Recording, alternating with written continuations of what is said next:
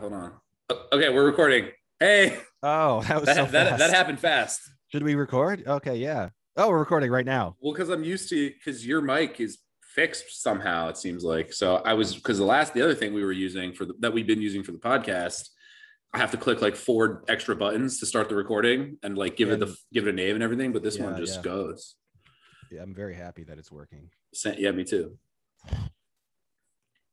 So hey, what's up, YouTube? Hey, It's Paul and Gabe again. I'm Gabe, I'm Paul. and we're from a, a show, a podcast. Mhm. It's called Spine Crackers. Spine crackers. and we t- we do on the show we do deep dives long form discussion and analysis about books one book a week Mhm. and uh, then we also do this youtube stuff for the people that you know have a shorter attention span, which is lame. although we know. still go long for a short story yes, we do. um, if you like this video youtubers subscribe to our patreon patreon.com slash spinecrackers follow us on twitter instagram facebook subscribe to the podcast subscribe to the youtube channel that you're currently watching Yeah, and that would um, be step one. That would be that's step one start there youtube get a little insight into paul's life he does he likes to do some uh, videos about his day-to-day life sometimes which is great I do some vlogging on there. i hear there might be a bookshelf tour coming up paul for me, yeah possibly. I think it was, there's, a, there's, a, there's like one book I for, feel like you're really proud of that you want to show off. no spoilers, no spoilers. yeah.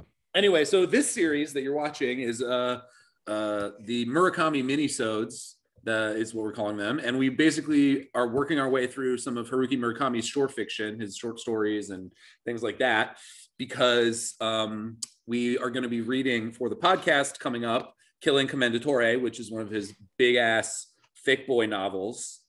And I, you've read some Murakami. We've talked about this before, but I just wanted to sort of, uh, uh, you know, uh what's the term i'm looking for? Like familiarize myself a little more with his stuff his style because i really hadn't read any of his other than norwegian wood which we read together way back in the day.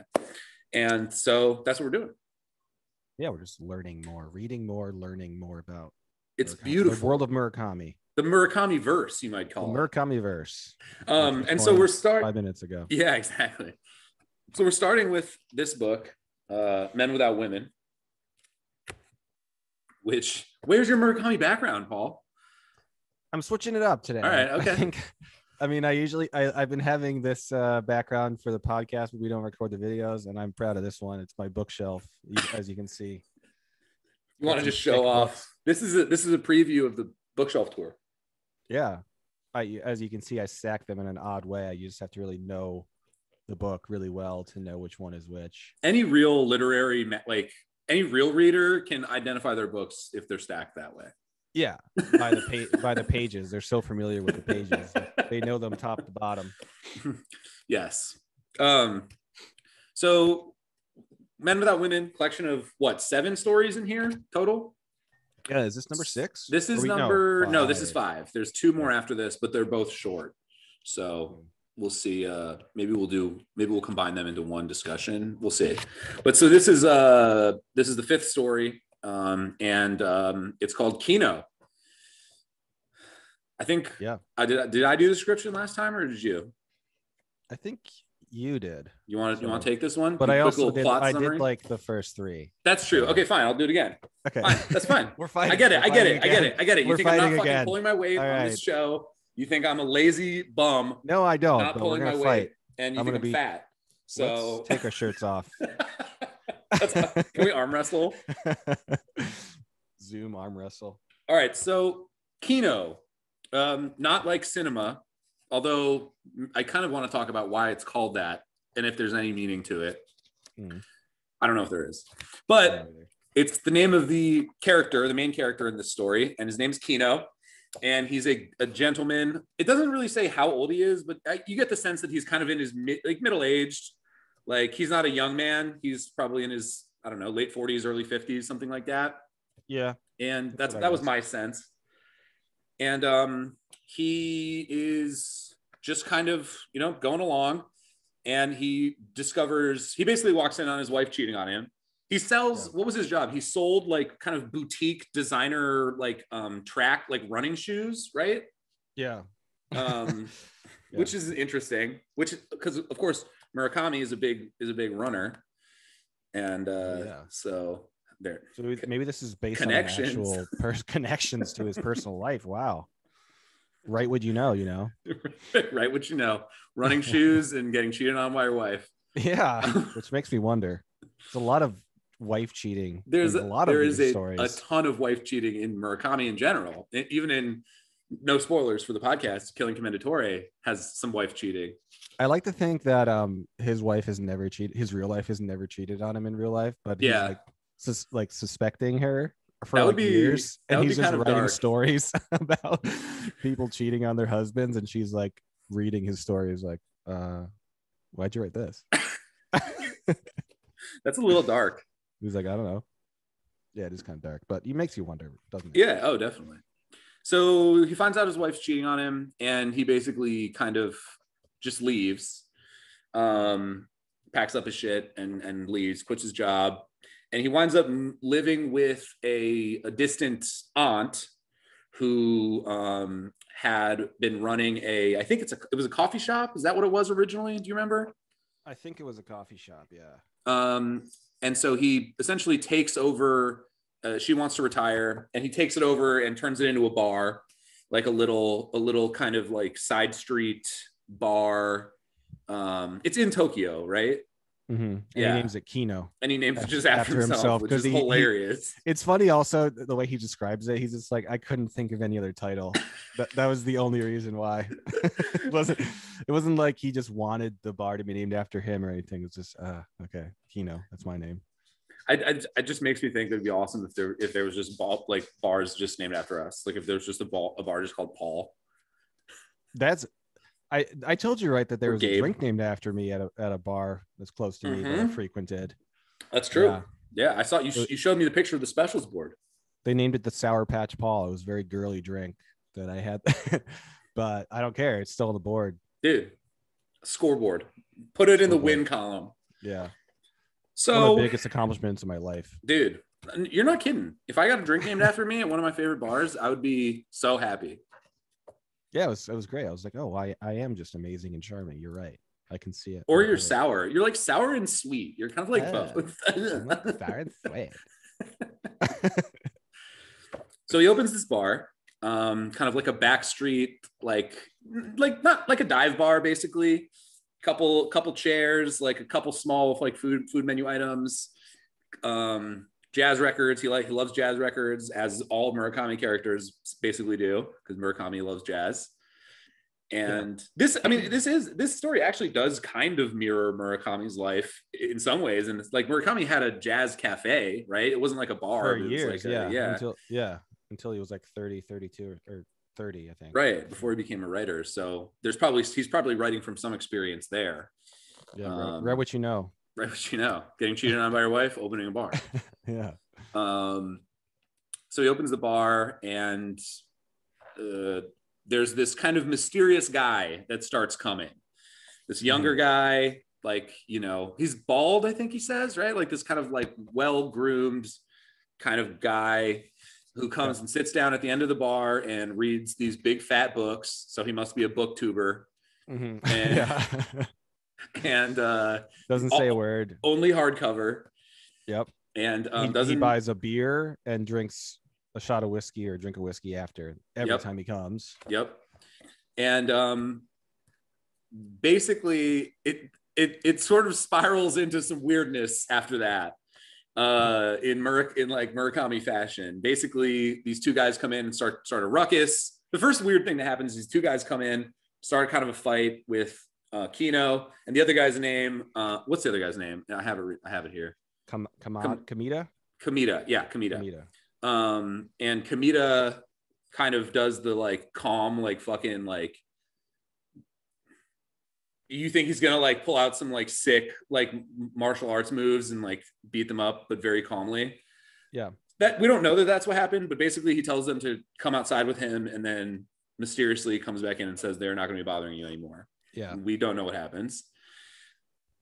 Later, Kino starts to notice some weird stuff around the bar. There's a cat that used to live at the bar with him, and the cat disappears. And there are these weird fucking snakes that he keeps seeing outside. Um, and yeah. Kamita says uh, eventually says to him, "Hey, you got to go. Um, I'll let you know." He just basically says you have to leave the bar, close it down, and I will contact you when it's safe to come back. Just go somewhere. Don't stay anywhere for for too long of a time, and send postcards with nothing on them to your mother or to your aunt, To your aunt. and um, then I'll let you know when it's safe to come back. Yeah. Very weird. Very he weird. also he the other character he meets is uh a woman who's who comes to the bar Mhm. and then at one point they're like alone in the bar and she takes off like her dress and shows him her back and it's like covered in scars and stuff or weird marks I think it's it implied that they're like cigarette burns, right? oh it says that she says Yeah. that they're cigarette burns and then they they have like a sexual relationship for a little while Yes. so it just turns into this like seedy type sin city bar kind of Yes. Yeah. yeah, Yeah. Sex with the, the female customer who who had previously been coming in with this kind of like beatnik, like goatee type kind of like dude. And then she doesn't come in with him one night and then they have sex. And then she just starts coming in with him again. yeah And so anyway, he he leaves. He he ends up leaving the bar and going and just sort of on the run almost from what he has no idea what, and um, that's kind of how it ends. He's We don't on. find he- out we don't find out what it is, from. what he's Yeah. running from, or or what. And he never goes back to the bar. The, the the end of the book is him holed up in a hotel room with some it's what's implied to be like a mysterious entity like banging on his window and him kind of hiding under the sheets and that's the end of the story Yeah. I mean, this one was you said it was your favorite one so far, right? by a lot so i think By a so lot. far yeah I still think the last one was my favorite so Mm. far.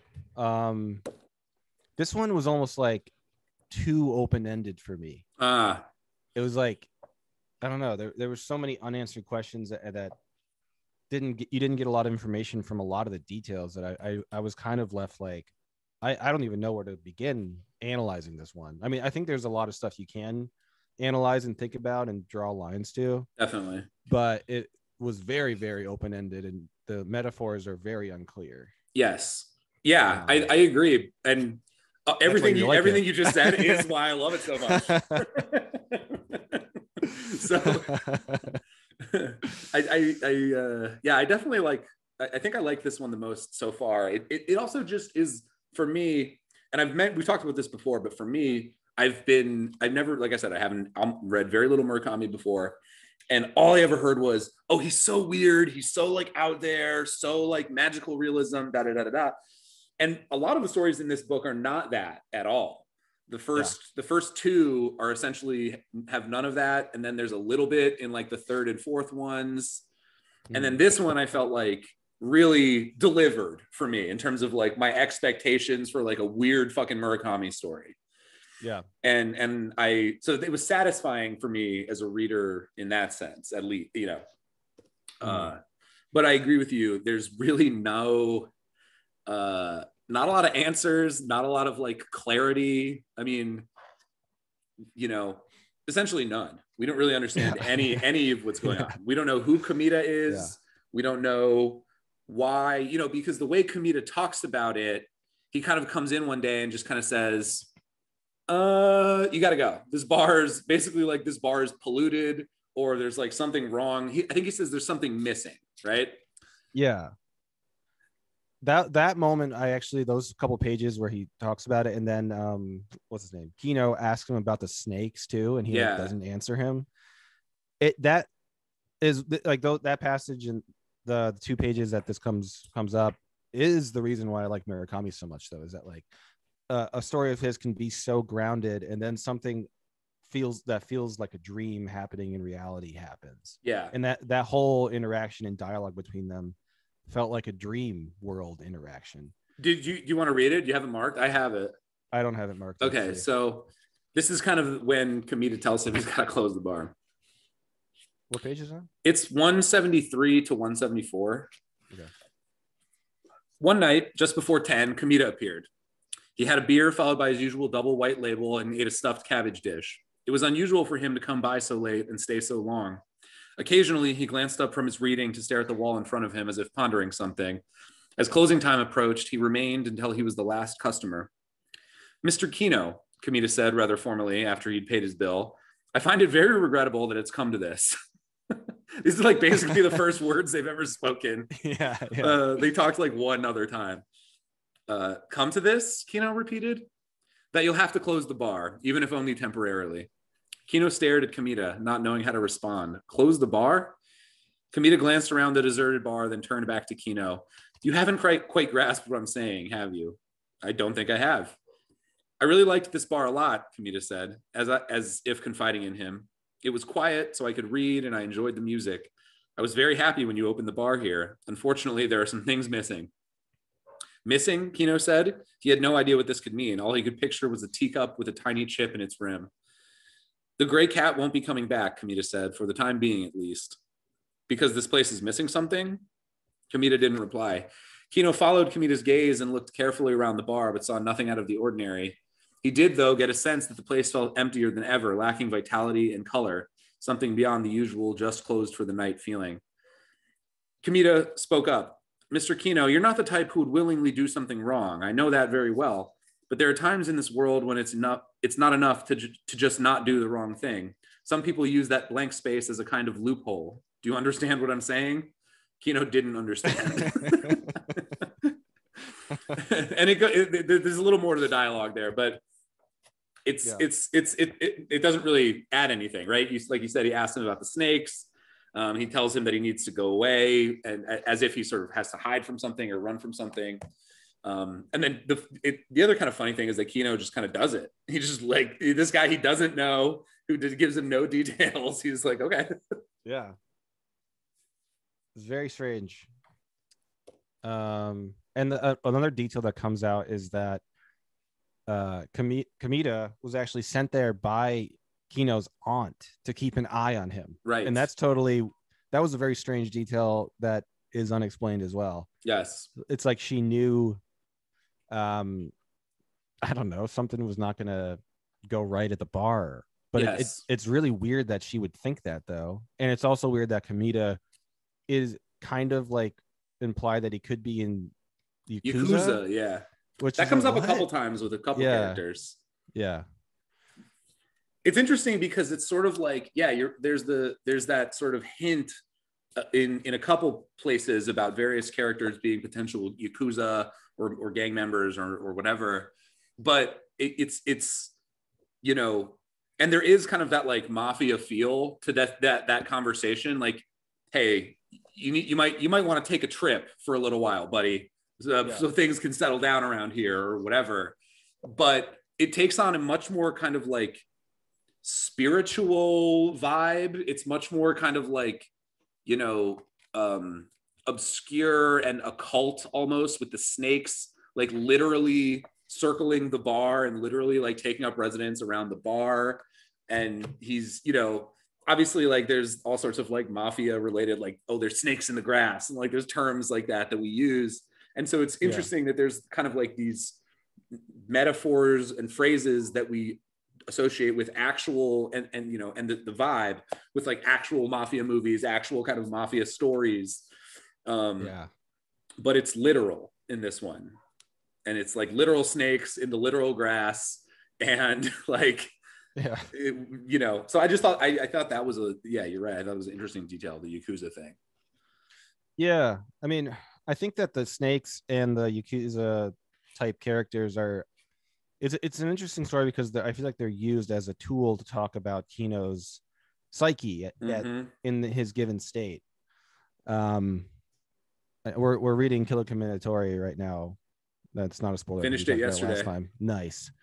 But there's a line in there that um because the, the main character of that story is like in a very similar spot. Like he his wife left him che- or yeah was cheating on him.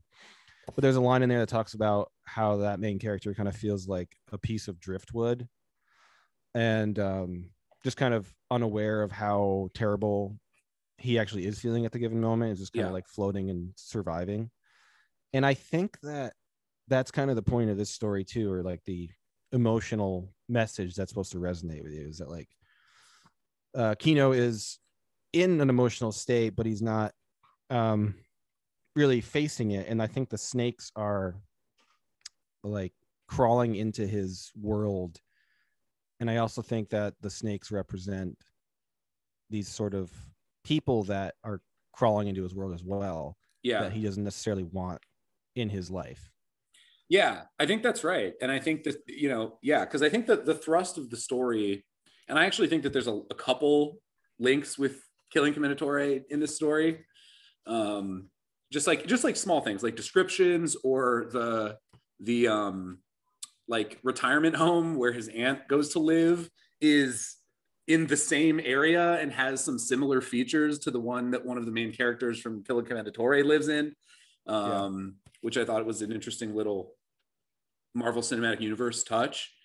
Um, but yeah but yeah, the, the yeah the Murakami verse, right?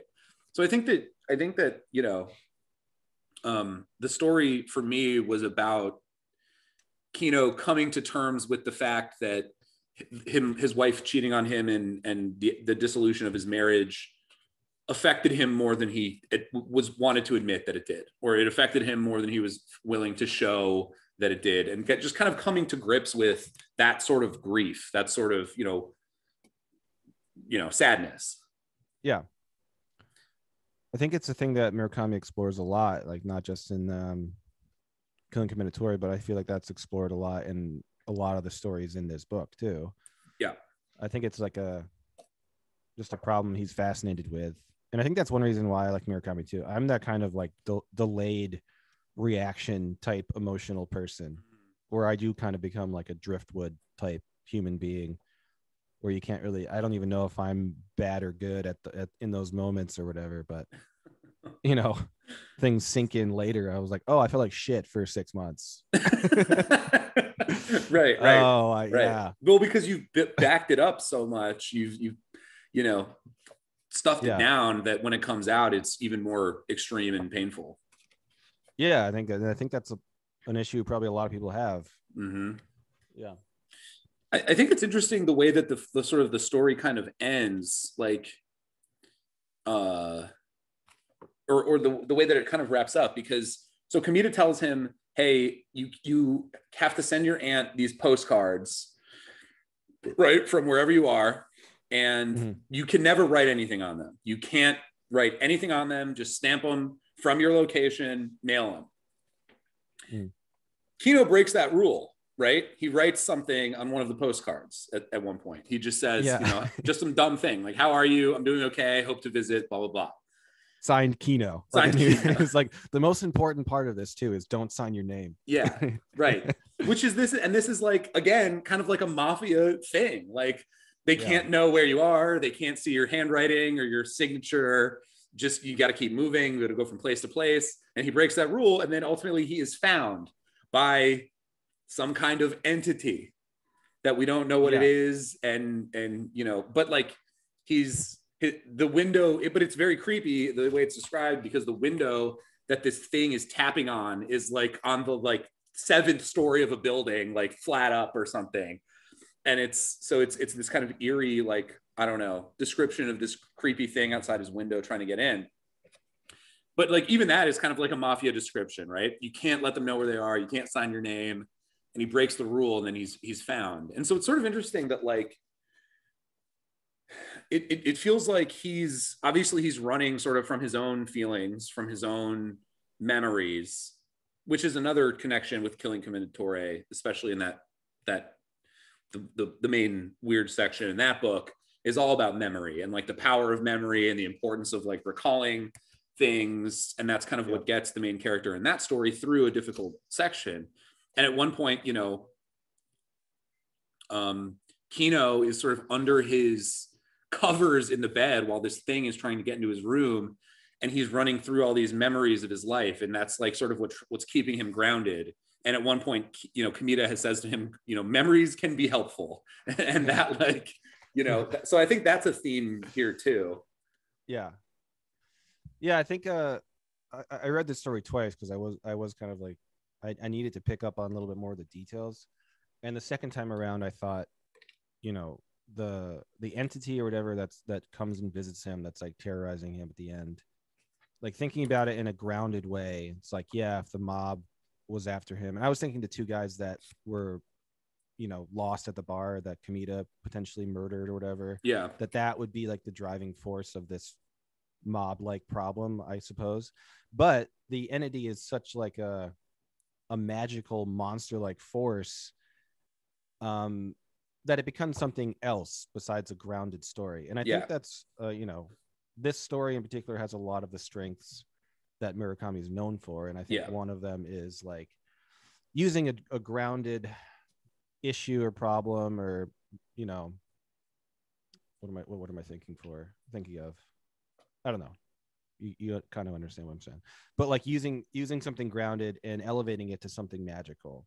Yes. Magical realism. But it, realism. like, it it, uh, it can like A- be a, we a term that we just made up now. Yeah, Ju- wow. We made it up. I can't believe no one's ever said that before.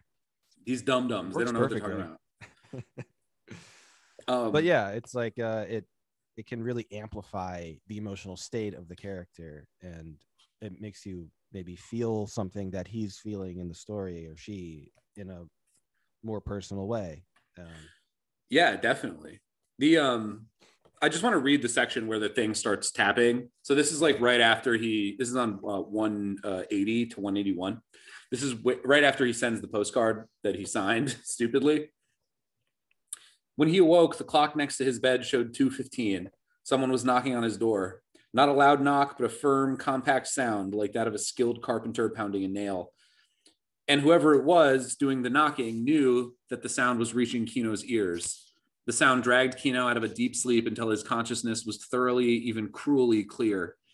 Kino knew who was knocking. The knocking wanted him to get out of bed and open the door, forcefully, persistently. The person didn't have the strength to open the door from the outside. The door had to be opened by Kino's own hand from the inside. It struck him that this visit was exactly what he'd been hoping for, yet at the same time, what he'd been fearing above all. The ambiguous ambiguity was precisely this holding on to an empty space between two extremes. You were hurt a little, weren't you? His wife had asked. I'm a human, after all. I was hurt, he'd replied. But that wasn't true. Half of it, at least, was a lie. I wasn't hurt enough when I should have been, Kino admitted to himself. When I should have felt real pain, I stifled it. I didn't want to take it on, so I avoided facing up to it, which is why my heart is so empty now. The snakes have grabbed that spot and are trying to hide their coldly beating hearts there. Love it. I I uh you can't see it because my bookshelf is Background. so big, but I, I uh, that was like my favorite paragraph was that last one you just read. I Yeah. it clearly states, you know, potentially what is happening. Yeah. especially in his mind though. Like the, the snakes are crawling in there. and it's that Um, tension between you know being the being the person who shuts yourself off in the first place and then also being the only person who's ever able to open that door again. Like no one can do it for you right? The, all that all that can ever happen is that someone can fucking knock knock knock but you you have to you have to unlock it ultimately. Yeah, or else you fall into like a like a loophole, which is what Kamita said earlier in, in that passage you read. yes. Yeah.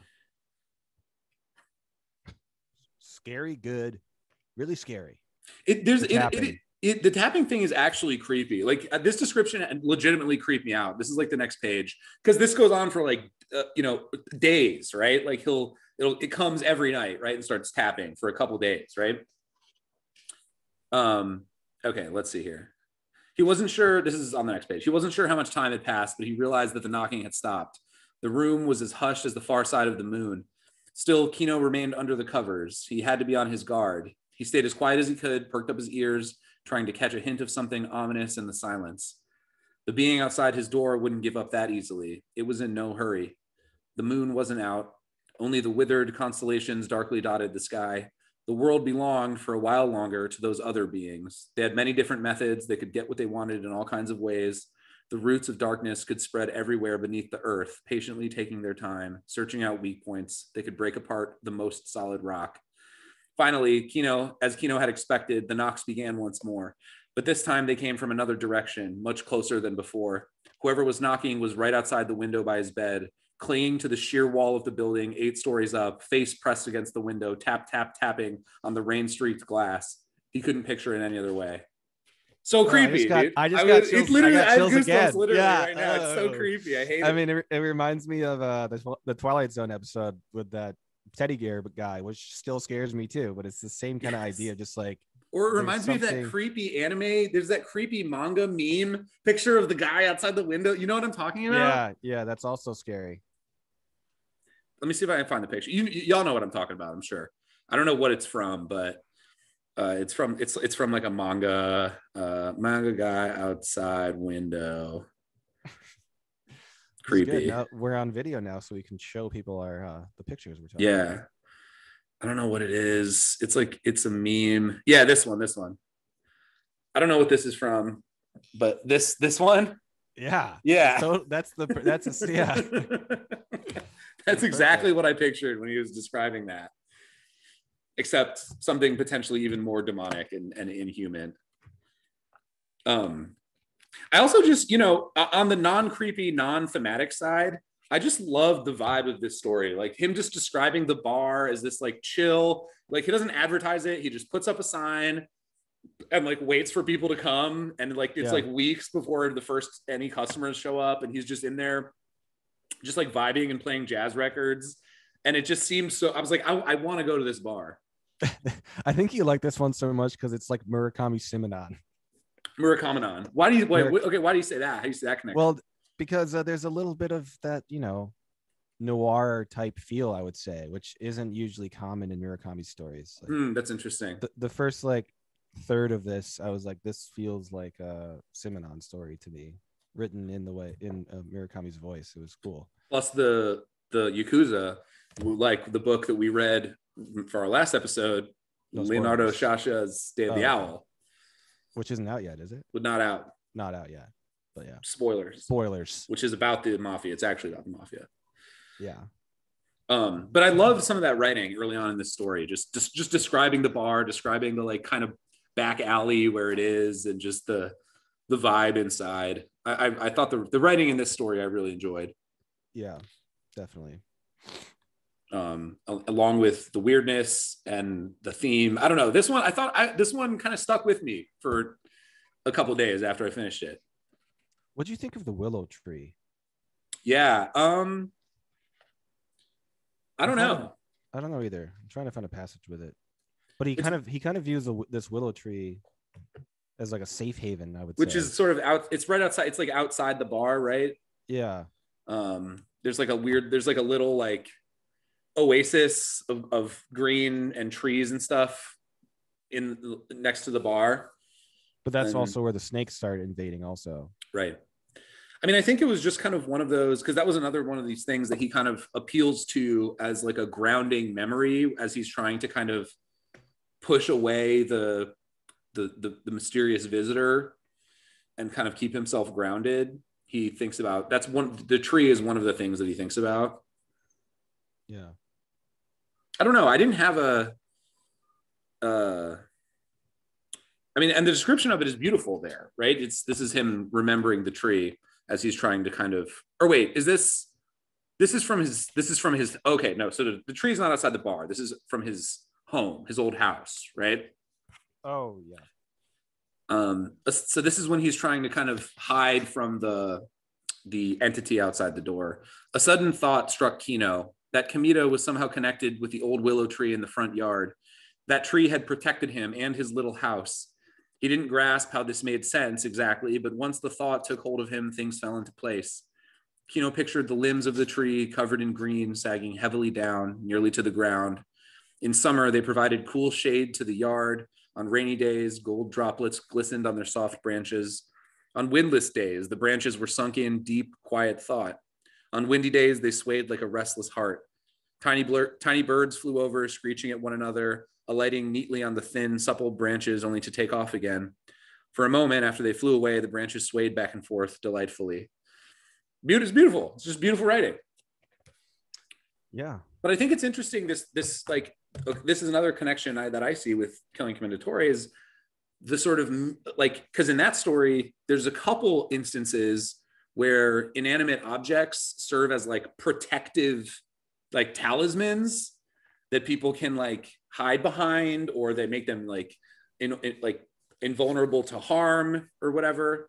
Like there's the clothes in the closet and then there's a little penguin charm and then there's a couple other things. And so this seems like in line with that sort of thing as well. Yeah i think it adds to some sort of i mean i don't know about japanese uh, religion at all but there's Mm. a lot of like spiritual elements that i think go over my head in a lot of murakami stories but Yeah. i don't even think you like need to be incredibly knowledgeable about them to to get a sense of what is being said yeah i Or think you're just get- probably right Yeah. And there's I mean, there's so much spiritual writing in a lot of Murakami's stories, but I I've read a few of his novels at this point and I still he did he never like makes a blatant claim what he believes. He mostly just like uses this knowledge he has about I don't know, Japanese religious history or because they have I forget I'm so stupid. I forgot what the main religious you know, what made the main religion in Japan well so there's like there's they like kind of worship, shinto like- i know which is I, I don't know if that's the main one but they Um, they kind of believe that like objects and things have like a spirit within them yeah so it's like a. Okay, know. so here's the Wikipedia definition that I just looked up. So this is my I don't know if this helps you or not. Shinto is a religion which originated in Japan, classified as an East Asian religion by scholars of religion. Its practitioners often regard it as Japan's indigenous religion and as a nature religion. Yeah. And I think that that fits with kind of some of Murakami's stuff, at least that goofy, very short description. yeah I, t- I think it totally does but he you know dives so deeply and beautifully into that idea that i don't know i feel like anyone can get something out of it and Yeah. it becomes something more and it becomes like something that is definitely not silly It- takes No. on something very real and you can i don't know for me i get a lot of emotions from it Oh, definitely. this story, this story, like I said, it was very affecting to me. The the Yeah. whole thing and the ending, and it stuck with me for a while. Um, so okay, wait. So are we saying because it's spiritual and there's yakuza that we could? This story is the spiritual gangster.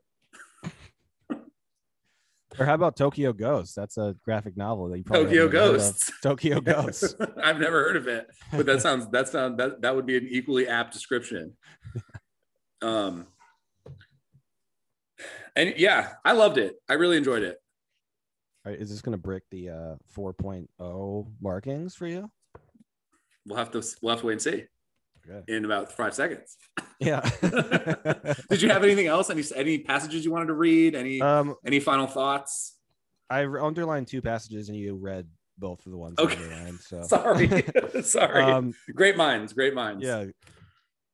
Uh, the end is pretty cool. I think I want to read the ending. do it. Just the last. Uh, uh, the willow branches swayed in the early summer breeze. In a small dark room somewhere inside Kino, a warm hand was reaching out to him. Eyes shut, he felt that hand on his, soft and substantial. He'd forgotten this, had been apart from it for, for far too long.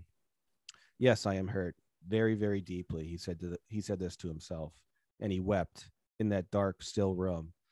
All the white the rain did not let him sleep. All the while, the rain did not let him sleep, drenching the world in a cold chill. I thought that was a fucking beautiful great. ending. It's And I- great. I mean, the line in a small dark room somewhere inside Kino, a warm hand was reaching out to him. That's Yeah. like both creepy, but it's like a warm hand. It's not to me, it wasn't like the monster's hand. It was like some other thing has entered into the story and it's inside him. And it's, it's, the like, sort of memory of, of emotion again, maybe, right? It's like feeling feeling hu- human again. yeah. and I think it's it's also that sort of like that sense of um, interior space. That's another big thing in Murakami too. Like in Killing Commendatore, that's another- like it just makes me think of the pit and like the various ways the pit functions as a metaphor in that story. Um, so that's spoilers for when we talk about that, but We just want to talk about it so bad. itching, we're itching too. we are. um but uh but yes i think yeah the ending is great and it, it just speaks to again right like th- there's no there's no final final answer i almost said final solution which is not a phrase you, you should say No. there's no there's no there's no concrete answer there's no like simple simple way out, right? It's this constant tension between wanting to keep the pain away, but also like wanting to maintain the things that that that make us human. Um, and I think that that's kind of what Kino is still struggling with at the end of the story. He finally does admit that he was hurt so badly, but we also get the feeling that it's kind of too late in some ways. Yeah, which is a dark thought. I hope the best for him. Same. I hope I hope he turns the bar like back into a coffee shop or something. And no, I, I think you should keep it a bar, dude. That bar sounds tight. yeah, but the snakes are gonna come back. Just it's not it, the problem wasn't that it was a bar. Well, it, attra- it attracted a certain crowd. Yeah, that That girl, bar. the the girl, that couple was very strange and dark. Yeah. Well, and the two, you know, And the two wise the wise guys. Hey, you fucking wise guys. I was kind of picturing that, and I, I kind of pictured uh, Kamita looking like uh, Nicolas Cage, Ooh, dude, I could see that actually. like a young Nicolas Cage, I could see that. which made uh, me laugh a little too much. But Nicholas Kamita. Nicholas Kamita. Yeah, Um, good story. yeah, I think I don't know. Maybe my rating is boosted. I, I think I said earlier. I don't know. No, I, I think the last story is still my favorite. This one's still good though. I forget the the right, last let's- story, what rating I gave it. But Let's do let's do some ratings then. Do you want me to go first? Okay. yeah, The answer is yes, dude. I love this story. Over four, definitely. Oh. This is like a this this is like a four point one eight for me. Oh. Almost a maybe a four Yeah. four point one eight. Four point one eight. wow. Loved it. I really enjoyed it. I thought it was fantastic. It, it made me feel feels. It made me it creeped me out. I was I was genuinely goosebump creeped out at points. And Yeah. then it gave me also like warm, cozy, like ASMR vibes at points. I love, dude. You know, you know, I love these videos. Just these videos that are just these like, like ten hour videos of like animated rain falling on windows. Oh, I It- like them too. with like Yeah. candles crackling and shit, and and, or, and like faint jazz music playing. That I put that on to go to sleep every fucking night. I love it. so good. And it gave as me that. It gave do. me it gave me those vibes at the beginning, and then it creeped me out, and then it made me sad, and made me feel feelings, and it stuck with me. I loved it. It was great. Made me feel feeling. yeah, what more? What more can you ask for at when reading a little Exactly. little story? Um, I think I'm gonna give it like a three point nine five, Nice. which is a weird cop out. I'm, I should just give it a four. I'm gonna give it a four, which I just realized that's my highest score for sure. So what am I talking about? I'm like, yeah. So I, I guess this was my favorite story. There it is. on record. Wow. Put mark it down. Mark it. People out there keeping tabs, mark it down. And write fool in parentheses. You absolute idiot. You drooling hog. You took the drooling words out of my ball. mouth. Yeah, I could tell you're like You moron. You absolute dum dum. stinky moron. Well, anything else? What do we read? What's the next story? Samsa in love. And then the last story is called Men Without Women. Oh, that's yeah. Okay, that's the one other thing I wanted to say about the story that we've talked about about every other story, is that this one was was sort of I thought the most directly addressing that theme of men without women because Yeah. it's a man sort of dealing with like all the other stories and and this one was more about like most of the characters are men right his ex-wife comes in at one point and then there's the aunt Well, then there's the woman at the bar. and the woman at the bar cigarette burns. um but this one i thought was most explicitly about that theme because we've kind of been talking about about all the other stories not the last one not um uh uh, uh Scheherazade, but all of the others are kind of more about these like bromances almost. And this Yeah. one, this one was not really about that. Like I, I thought it might be at first because it describes Keen, uh, Kamita coming into the bar and K- Kino talking to him. But this one I thought was most kind of like on the on the theme that I was kind of expecting from some of these stories. Yeah, I think so. And especially with the lack of a, there being a bromance, Yeah. amplified the the loneliness that the Kino had. Right. So yeah, I would say you're right. Nice. And I would also say that Killing Commendatore could like be called Men Without Men Without Man Without Woman. But just big painting. and long, the long book. Big long book, and here's a painting also. There's a bromance in that one, kind of. There is a bromance, yeah. Yeah. I mean, that yeah, that book really fits the, a- along. I mean, they're kind of written within the same couple of years. I think. I think Mhm. Killing Commendatore was 2017. I think this, one's one is 2018. yeah, I think that's right. 2018 in yep. So he had something on his mind. I mean, some of these stories were written a lot earlier than that, but this collection was published first in 20, 2017. Oh, 2017, yeah. Look at Murakami, or look at look at Murakami right now. Killing Commendatore. so yeah, I'm excited to finish these uh, this book. This has been this has been great, and then we're gonna move Oh, yeah. on to some others. Killing Commendatore was 2018. I just haven't Okay, switched. perfect.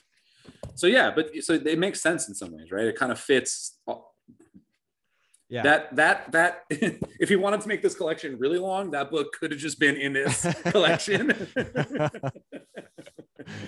This massive book. He should just make all of his books into one book. just a short story collection that's just like a 700 page novel and like three 10 page short stories. It's like it's like it, it would you'd go to the bookstore and it'd be like buying one of those like 20 foot long subs. So you get just huge. I love it. Oh, it's so good. Uh, well, until next time, right? Yeah. Two more to go. I'm excited. Then we're moving on to the elephant vanishes. The elephant vanishes. Yeah, that's gonna be fun. Mhm. And then uh, killing Commendatore in a week potentially, or well, we'll see. Yeah. All right. Any final thoughts, Paul? Good book. Good story. Good story. A and a nice good book. a nice tale. Uh, Yep. Go subscribe to our Patreon if you like this video. If you really like it, I mean, if you just like it, it's fine. Then thumbs up the video and if just subscribe to the it- YouTube channel. That's free. Yeah. If Twitter is just like also it, free. Go ahead and like it. But if Yeah. you really liked it, like it and subscribe. And then if you really, really like it, then go, then like it, subscribe, and go subscribe to our Patreon.